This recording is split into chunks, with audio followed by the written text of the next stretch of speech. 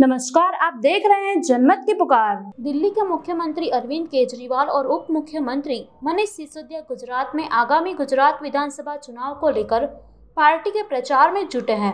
दो दिवसीय गुजरात दौरे के दौरान दोनों नेताओं ने सोमवार को एक सभा को संबोधित किया, जिसमें आम आदमी पार्टी के नेताओं ने गुजरात की जनता से नए वादे किए। अरविंद केजरीवाल ने कहा कि अगर गुजरात में आम आदमी पार्टी की सरकार बनती है तो हम लोग गुजरात के बच्चों के लिए अच्छी शिक्षा का इंतज़ाम करेंगे। हम लोग आपके पूरे परिवार के लिए अच्छे और मुफ़्त इलाज का भी इंतज़ाम करेंगे। सबसे पहले गुजरात के सभी भाइयों, बहनों, माताओं, बुज़ुर्गों, सब लोगों जो जो ये लोग प्रोग्राम देख रहे हैं, सब लोगों को मेरा नमस्कार। और, पिछले कई महीनों से मैं लगातार गुजरात आ रहा हूँ। लोग बहुत दुखी हैं गुजरात के। पिछले 27 साल से बीजेपी की गवर्नमेंट है। उनमें बहुत अहंकार आ गया है। वो सुनते ही नहीं है किसी की। वो कहते हैं कि क्या कर लेंगे लोग हमारा? लोगों के पास तो ऑप्शन ही नहीं है। कांग्रेस को वोट देंगे तो हम कांग्रेस के एम को खरीद लेंगे। हमें काम करने की क्या ज़रूरत है? आम आदमी पार्टी पिछले कई दिनों से जनता के सामने, जनता के मुद्दों के ऊपर चर्चा कर रही है। हम एक पॉजिटिव कैंपेन चला रहे हैं। हम ये बता रहे हैं कि अगर हमारी सरकार बनेगी तो हम महँगाई से कैसे आपको छुटकारा दिलाएँगे, बेरोजगारी से कैसे छुटकारा दिलाएँगे, युवाओं के लिए क्या करेंगे, महिलाओं के लिए क्या करेंगे, किसानों के लिए क्या करेंगे। आज हम लोग शिक्षा और स्वास्थ्य की गारंटी देने आए हैं। गारंटी मतलब कि अगर हम काम ना करें तो हमें अगली बार वोट मत देना। तो मैं बाद में बात करूँगा। आज मेरे को बहुत खुशी है कि दुनिया के सबसे अच्छे शिक्षा मंत्री, ये मैं नहीं कह रहा, ये न्यूयॉर्क टाइम्स ने बोला है, अमेरिका के सबसे बड़े अखबार के फ्रंट पेज के ऊपर, जहाँ पे दुनिया के राष्ट्रपति और प्रधानमंत्री, दुनिया भर के राष्ट्रपति, प्रधानमंत्री अपनी फ़ोटो देखने के लिए तड़पते हैं। वो न्यूयॉर्क टाइम्स के फ्रंट पेज पे मनीष सिसोदिया जी की फ़ोटो छपी और उन्होंने कहा कि दुनिया के सबसे अच्छे शिक्षा मंत्री हैं। आज मैं उनको साथ में लेके आया हूँ। गुजरात के बच्चों का भविष्य हम कैसे बनाएँगे? गुजरात के बच्चों को हम कैसे अच्छी शिक्षा देंगे? पहले ये उस पर बात करेंगे, फिर मैं आऊँगा। बहुत बहुत धन्यवाद। माननीय मुख्यमंत्री श्री अरविंद केजरीवाल जी, साथ ही गुजरात के आम आदमी पार्टी की बहुत विश्वसनीय, मेहनती लीडरशिप और मीडिया के सभी साथी। जैसा कि हम सब जानते हैं कि भारत को विकसित देश बनने के लिए एक बहुत शानदार शिक्षा व्यवस्था की ज़रूरत है। बिना शानदार व्यवस्था के, हर बच्चे के लिए शानदार शिक्षा व्यवस्था के बिना भारत विकसित देश नहीं बन सकता। भारत दुनिया में नंबर वन देश नहीं बन सकता। मुझे बहुत खुशी है कि माननीय श्री अरविंद केजरीवाल जी के नेतृत्व में दिल्ली में एक शिक्षा क्रांति शुरू हुई और उनके नेतृत्व में और उनके मार्गदर्शन में, उनके विजन पर चलते हुए आज दिल्ली में, दिल्ली के हर बच्चे के लिए फ्री, शानदार विश्व स्तरीय शिक्षा सुनिश्चित की गई है। दिल्ली में पैदा होने वाले हर बच्चे के लिए आज शानदार शिक्षा उपलब्ध है। दिल्ली के हर माँ बाप आज इस बात से संतुष्ट हैं कि हमारे बच्चे के लिए केजरीवाल जी ने शानदार स्कूल बनवा दिए हैं। इसी तरह का काम अब पंजाब में भी शुरू हो गया है। केजरीवाल जी के नेतृत्व में, उनके मार्गदर्शन में वहाँ भगवंत मान जी के नेतृत्व में जो सरकार चल रही है, वो पिछले पाँच महीने के अंदर अंदर इतनी तेज़ी से काम कर रही है शिक्षा पर कि आप देखिएगा, बहुत जल्द वहाँ पे बहुत शानदार स्कूल देखने को मिलेंगे और वहाँ की रिज़ल्ट देखने को मिलेंगे। अच्छी शिक्षा आज गुजरात के भी हर बच्चे का हक है। वो चाहे गाँव में रहता हो, चाहे कस्बों में रहता हो, शहरों में रहता हो, वो सरकारी स्कूल में पढ़ता हो या प्राइवेट स्कूल में पढ़ता हो, अच्छी से अच्छी शानदार शिक्षा आज गुजरात के भी हर बच्चे का हक है। तो आज मैं माननीय अरविंद केजरीवाल जी के नेतृत्व में आप सबके बीच आम आदमी पार्टी की तरफ़ से गुजरात के हर एक परिवार को, हर एक व्यक्ति को ये आश्वस्त करना चाहता हूँ कि आज से हम सपना देखना शुरू कर दें कि हम अपने बच्चों के लिए, गुजरात के एक एक बच्चे के लिए, गुजरात में पैदा होने वाले हर एक बच्चे के लिए एक शानदार शिक्षा की व्यवस्था लागू करेंगे। और वो शानदार शिक्षा की व्यवस्था गुजरात के गाँव देहात से लेकर शहरों तक हर जगह लागू होगी। सिर्फ़ ऐसा नहीं है कि शहर के कुछ स्कूलों को अच्छा करेंगे। जैसा दिल्ली में हर स्कूल को किया है। तो इसलिए आज मैं आपके बीच में अरविंद केजरीवाल जी की तरफ़ से केजरीवाल जी की शिक्षा गारंटी के रूप में गुजरात के सामने कहना चाहता हूँ कि आप सब अरविंद केजरीवाल जी को मौका दें। गुजरात के सभी पेरेंट्स जिनके बच्चे स्कूलों में पढ़ रहे हैं या वो सभी लोग साथ साथ जो चाहते हैं कि गुजरात का आधार मज़बूत करने के लिए, गुजरात को विकसित आगे बढ़ाने के लिए हर बच्चे को शानदार शिक्षा मिलनी चाहिए। आम आदमी पार्टी की तरफ़ से, केजरीवाल जी की तरफ़ से गारंटी है कि आम आदमी पार्टी की सरकार बनने के बाद, आम आदमी पार्टी की सरकार बनने के बाद गुजरात के हर बच्चे के लिए फ्री और शानदार शिक्षा व्यवस्था गुजरात में दी जाएगी। फ्री और शानदार शिक्षा व्यवस्था। दूसरा गुजरात के हर सरकारी स्कूल को दिल्ली की तरह से इतना शानदार बनाया जाएगा जैसे कि बड़े बड़े प्राइवेट स्कूल होते हैं, जैसे हमने दिल्ली में हर शानदार, हर हर सरकारी स्कूल को उतना शानदार बनाया है। और यहाँ के सभी विद्यालयों में टीचर्स की जो कमी है, वो टीचर्स की कमी तुरंत भर्ती करके दूर की जाएगी।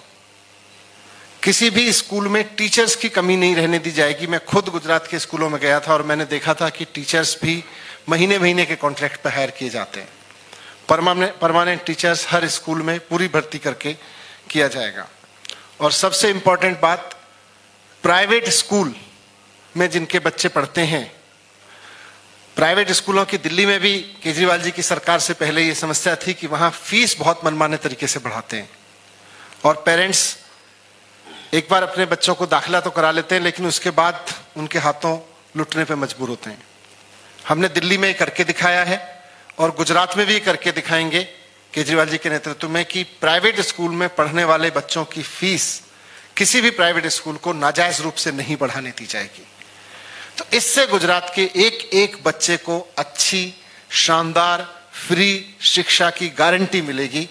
आज केजरीवाल जी की तरफ़ से मैं आपके समक्ष ये गारंटी रख रहा हूँ और मुझे पूरी उम्मीद है कि गुजरात के लोग अपने बच्चों की शिक्षा के लिए, आने वाली पीढ़ियों की शिक्षा के लिए केजरीवाल जी की इस गारंटी के आधार पर केजरीवाल जी को एक मौका ज़रूर देंगे। धन्यवाद।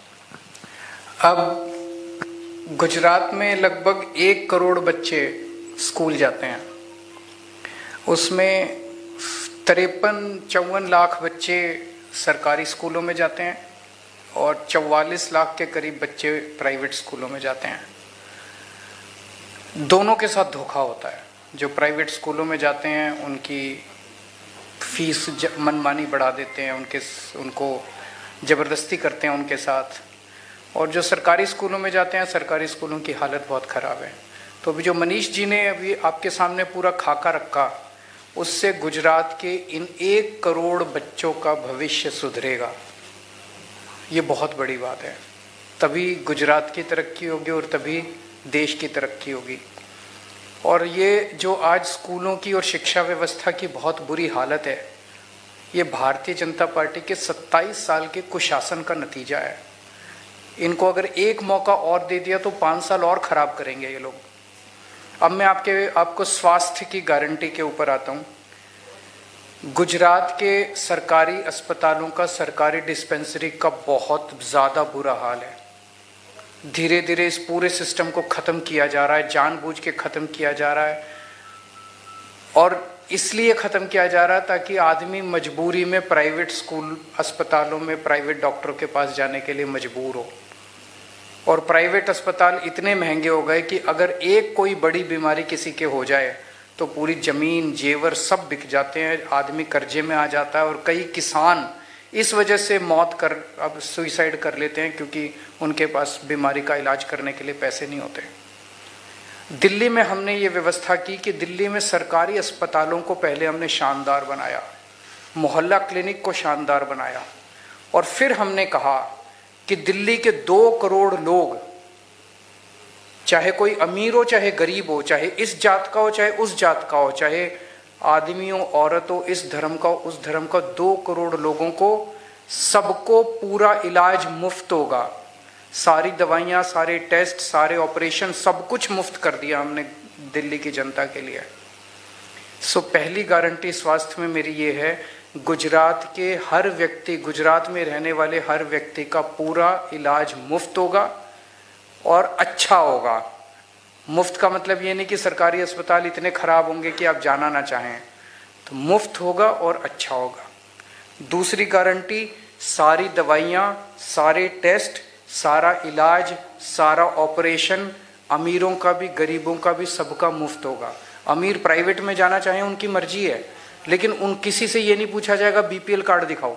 जो सरकारी अस्पताल में जाएगा, उसका इलाज मुफ़्त होगा।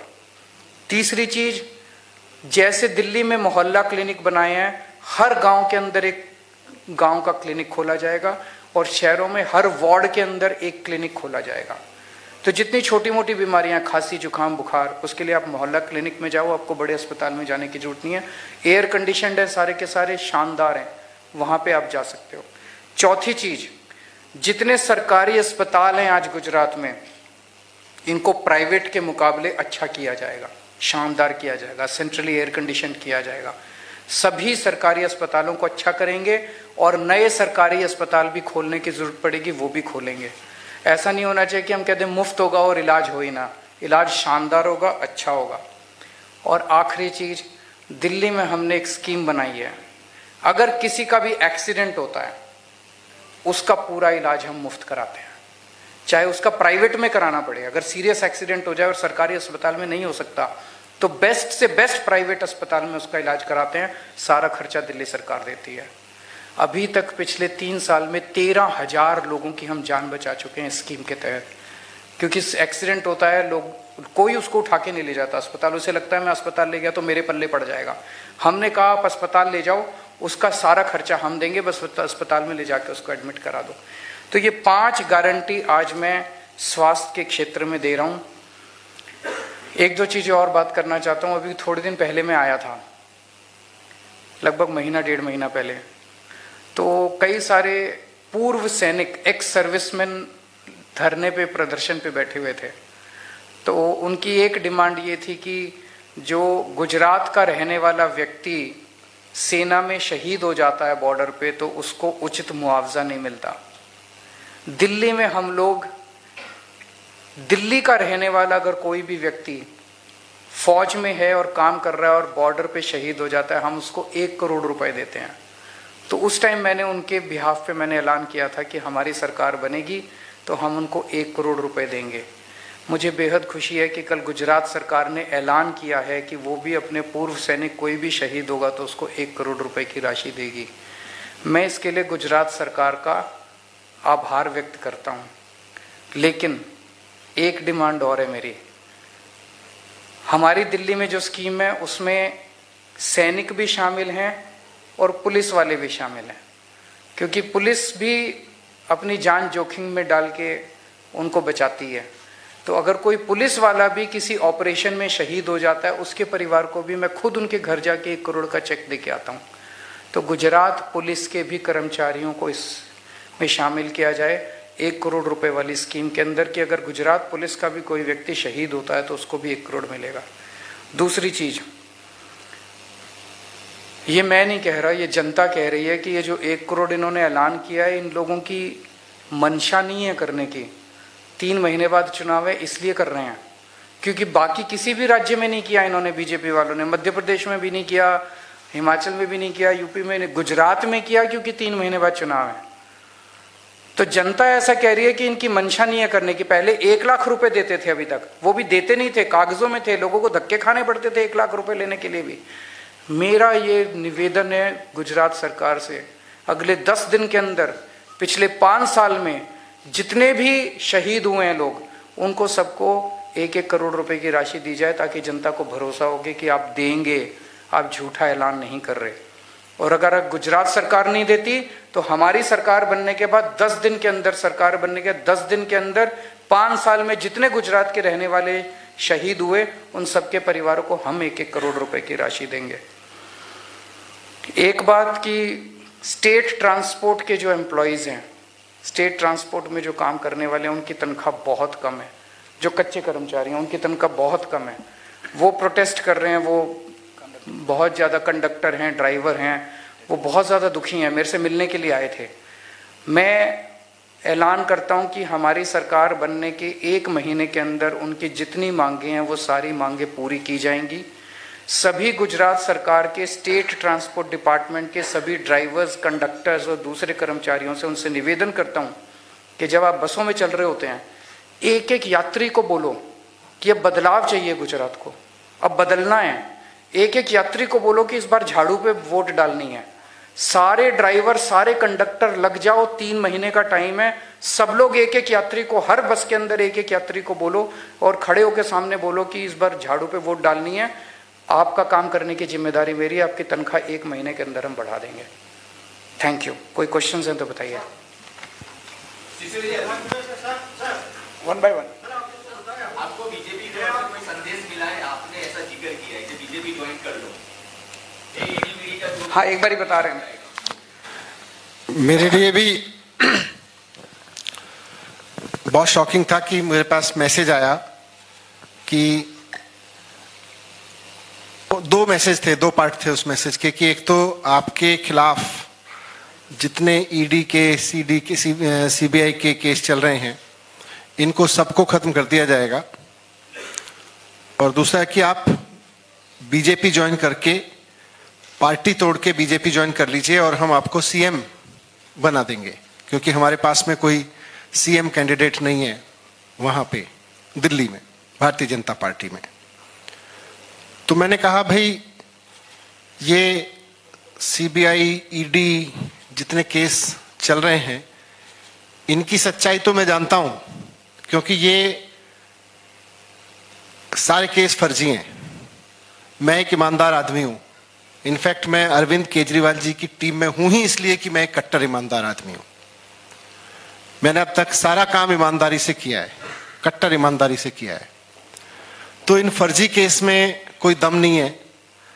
आप इनकी धमकियाँ तो नहीं दे सकते मुझको। इनसे नहीं डरा सकते। और रही सीएम कैंडिडेट बनाने की बात सीएम बनाने की बात तो मैंने स्पष्ट किया कि मेरा सपना सीएम बनना नहीं है। मैं यहाँ राजनीति में सीएम बनने के ख्वाब लेके नहीं आया। मैं जो ख्वाब लेके आया हूँ वो ये है कि दिल्ली के हर बच्चे को शानदार एजुकेशन मिले। और आज मैं काम कर रहा हूँ कि देश के हर बच्चे को शानदार एजुकेशन मिले। वो चाहे गरीब का बच्चा हो या अमीर का बच्चा, मेरा सपना यह है, मैं उस सपने पे काम कर रहा हूँ। और मैं जानता हूँ कि ये सपना अरविंद केजरीवाल जी ही पूरा कर सकते हैं। इस देश में कोई और नेता नहीं है जो देश की एजुकेशन को वहाँ ले जा सकता हो, जहाँ से हमारे देश के हर बच्चे को शानदार एजुकेशन मिले। तो मैं ये भी आप भूल जाओ कि मैं किसी सीएम कैंडिडेट बनने के और सीएम बनने के चक्कर में यहाँ हूँ। मैं तो अरविंद जी के साथ हूँ। अरविंद जी मेरे राजनीतिक गुरु हैं। उन्हीं के मार्गदर्शन में, उन्हीं के आदेशों पर, उन्हीं के डायरेक्शंस में दिल्ली में काम किया है और राजनीति में काम किया है।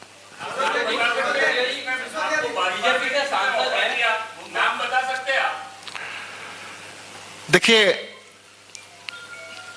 जो लोग जिन्होंने मुझे मैसेज दिया, उन्होंने मुझे कहा कि वेस्ट बंगाल में शुभेंदु अधिकारी जी को हम नहीं ज्वाइन कराया था। असम में हेमंत शर्मा जी को हम नहीं ज्वाइन कराया था। फिर नारायण राणे जी से लेके और जो और ज्वाइनिंग उन्होंने कराई हैं। तो उन्होंने कहा कि हम पे आप भरोसा रखिए हम लोग इसमें हैं हम ही ज्वाइन कराते हैं जयंत पांड्या जी को भी हम नहीं ज्वाइन ज्वाइन कराया था तो अब आप पूछ लीजिए उन लोगों से उनको किसने ज्वाइन कराया था वन बाय वन प्लीज़ एक एक करके वो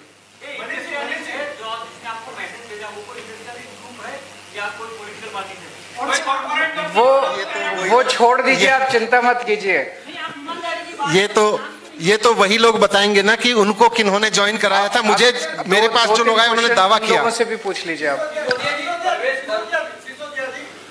दो सवाल है मेरे। पहला सवाल ये है कि हर्ष संघवी जो हमारे यहाँ के गृह राज्य मंत्री है आपके ट्वीट को लेकर उन्होंने ट्वीट किया है कि पहले ये तय कीजिए कि आप भगत सिंह की संतान है या महाराणा प्रताप?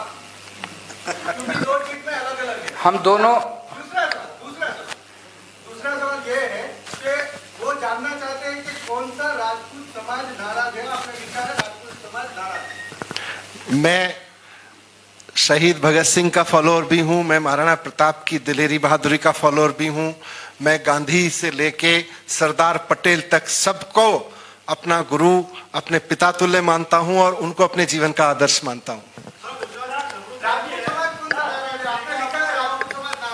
पूरे देश में लोग नाराज़ हैं। जे, एक मिनट। जिस व्यक्ति को पूरे देश की शिक्षा व्यवस्था सौंप देनी चाहिए। जिस व्यक्ति ने पाँच साल के अंदर करिश्मा करके दिखा दिया, मौजूदा रवायती पार्टियाँ सत्तर साल में जो काम नहीं कर पाई और जिस व्यक्ति ने वो काम करके दिखा दिया कि सरकारी स्कूलों को शानदार बना दिया, इस देश के गरीब बच्चों को भविष्य दे दिया, उस व्यक्ति पे सीबीआई की रेड कराते हो तुम लोग, शर्म नहीं आती तुम लोगों को?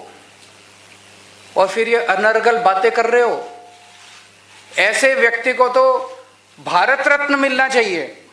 पूरे शिक्षा व्यवस्था प्रधानमंत्री जी को बुलाना चाहिए, उनको कहना चाहिए भाई, जो भी पार्टी हो, पार्टीबाजी करने थोड़ी, देश का विकास करना है। मनीष जी, बैठिए, हमें बताइए कैसे शिक्षा व्यवस्था ठीक करें। ये होना चाहिए था। ये ये ये जो इस तरह की बातें कर रहे हैं, सारे समाज नाराज़ हैं। राजपूत भी नाराज़ हैं, ब्राह्मण भी नाराज़ हैं, बनिए भी नाराज़ हैं, एससी भी नाराज़ हैं, एसटी भी नाराज़ हैं, अमीर भी नाराज़ हैं, गरीब भी नाराज़ हैं, औरतों भी नाराज़ हैं, आदमी भी नाराज़ है। सब नाराज़ हैं कि मनीष सिसोदिया को गलत तरीके से सताया जा रहा है। उनको अब तीन चार दिन में इनको गिरफ़्तार कर लेंगे। गिरफ़्तार, एक मिनट। गिरफ़्तार करने का क्या नतीजा होगा? तीन महीने, चार महीने तक शिक्षा व्यवस्था सफ़र करेगी? किसके फ़ायदे में है ये? पूरा केस फर्जी है। किसको फ़ायदा होगा? हम काम रुकने नहीं देंगे लेकिन थोड़े दिन के लिए बाधा तो पहुंचेगी। इससे देश का भला होगा क्या? सवाल ये है?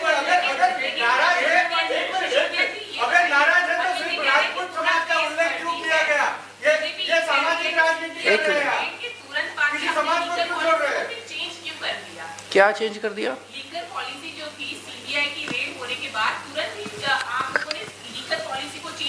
सीबीआई की रेड होने के बाद नहीं किया।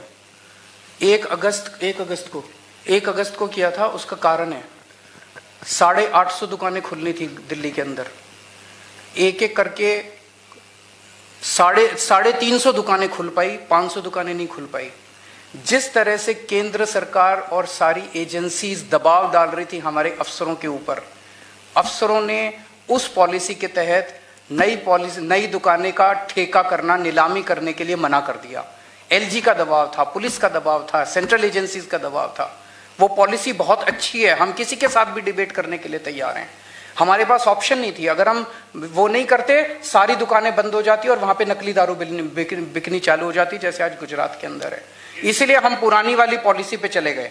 पुरानी पॉलिसी में सौ कमियाँ हैं, लेकिन कम से कम नकली दारू तो नहीं बिक रही है लेकिन केजरीवाल जी, आप आप ये कहना कहते हैं कि आप पीएम पद के दावेदार हैं आप पीएम बन सकते हैं हमारे को कोई लालसा नहीं है। जैसा मनीष जी ने कहा, ये सीएम बनने नहीं आए और मैं भी पीएम बनने नहीं आया। हमारा एक ही सपना है। पचहत्तर साल हो गए हमारे देश को। अभी तक हमारा देश पिछड़ा क्यों रह गया? हमारे बाद जो देश आज़ाद हुए, वो हमसे आगे चले गए। सिंगापुर आगे चला गया, जापान आगे चला गया। जापान तहस नहस हो गया था, जर्मनी तहस। हम पीछे क्यों रह गए? वो इन्हीं लोगों की वजह से रह गए। अगर इनके भरोसे तो अब हमारे पास हमें हमें सबको मिलकर देश को आगे बढ़ाना है। मेरा एक ही सपना है, भारत को दुनिया का नंबर वन देश देखना है। वो नेता और पार्टियाँ नहीं कर सकते। आप सब लोगों के साथ मिलके 130 करोड़ लोगों को एक साथ मिला के और इस देश को नंबर वन बनाएँगे। नहीं, बिल्कुल नहीं करेंगे। हम जो पॉलिसी आज नशाबंदी की चल रही है, वो नशाबंदी की पॉलिसी लागू रखेंगे, लेकिन गैर कानूनी शराब का धंधा नहीं करेंगे। वो धंधा करते हैं। दस हज़ार करोड़ की दारू का धंधा करते हैं। ये उनका धंधा है। हम अपनी पार्टी को गैर कानूनी शराब बेच के नहीं चलाएँगे नेता कहते हैं कि आप बहुत पॉपुलर नेता है और आप जै- जिस दिन ये पूरा मामला हुआ अ, रेड का उसके दूसरे दिन आपने गुजरात आने का ऐलान कर लिया लेकिन यहाँ की आपकी टीम कह रही है कि आपके ऊपर हमले का खतरा है आपका कोऑर्डिनेशन स्टेट से या उनसे ठीक से नहीं होता है या कैसे आपके पास ये इन्फॉर्मेशन नहीं मैं समझा नहीं।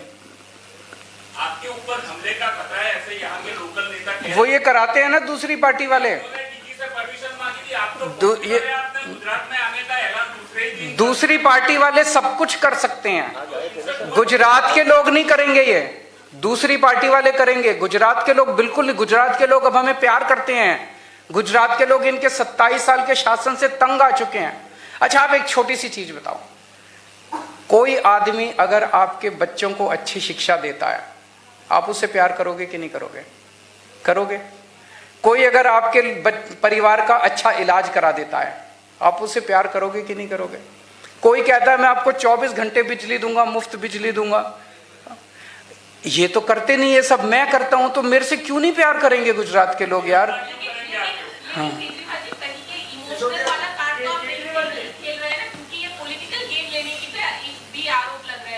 वो तो कह- वो तो आरोप लगाते रहेंगे, उनको मत सुनिए आप। गुजरात की जनता को सुनिए। गुजरात, आज ये सारा, मैं आपसे एक पूछता हूँ प्रश्न।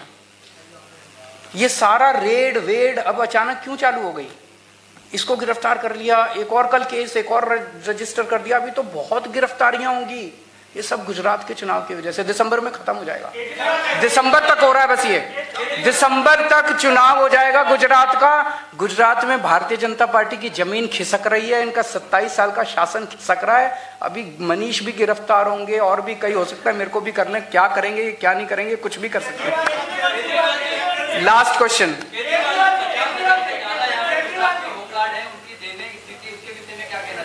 होमगार्ड्स की जितनी भी मुद्दे हैं, होमगार्ड्स की जितनी भी समस्याएँ हैं, उन समस्याओं को मैं आश्वासन अगर आपने हमारा अभी तक चैनल सब्सक्राइब नहीं किया है तो कृपया चैनल सब्सक्राइब कर लें।